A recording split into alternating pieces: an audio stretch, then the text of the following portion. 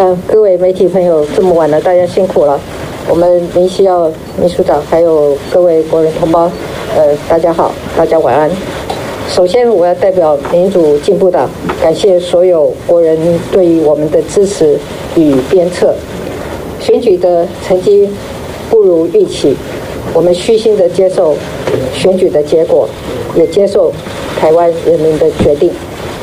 作为执政党的主席。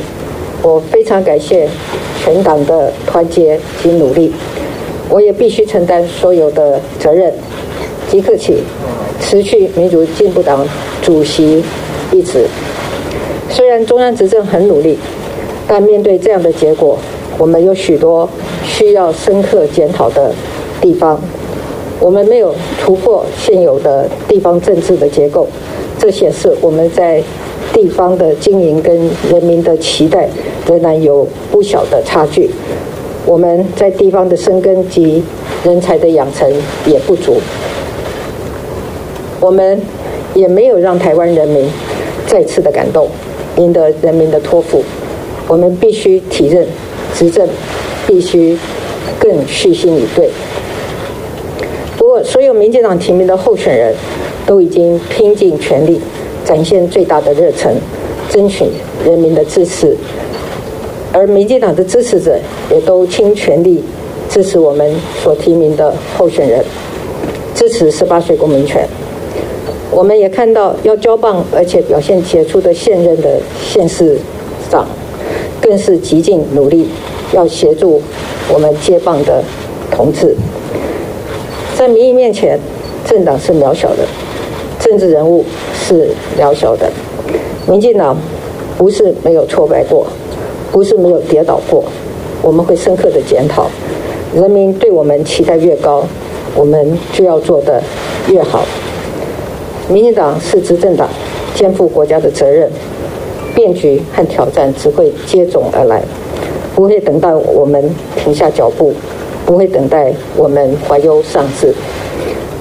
维持执政的稳定与团结，维护台湾的安全与发展，是我们的任务。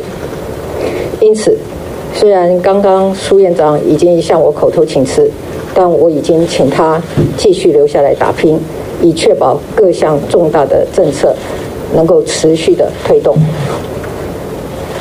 我也要向所有的当选者说一声恭喜，并致上祝福。选举的激情已经过去了。携手团结正要开始，特别是在国家面临各种内外挑战、疫后经济的振兴复苏，许多有关国家未来发展的重大的政策还有建设，正有赖我们不分党派、中央地方紧密合作。我们更应该携手协力，不负国人的期待。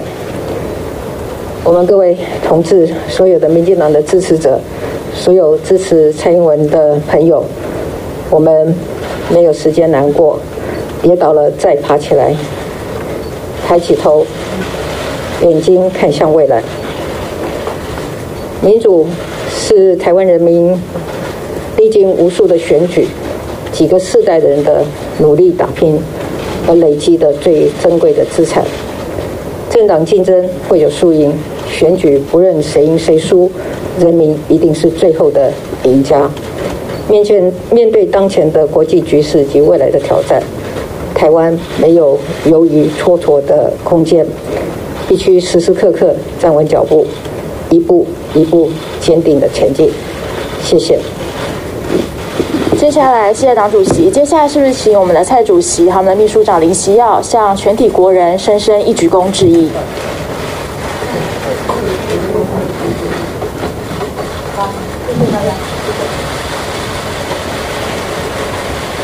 谢谢蔡主席。接下来，我们要请林希耀秘书长来回复媒体朋友的提问。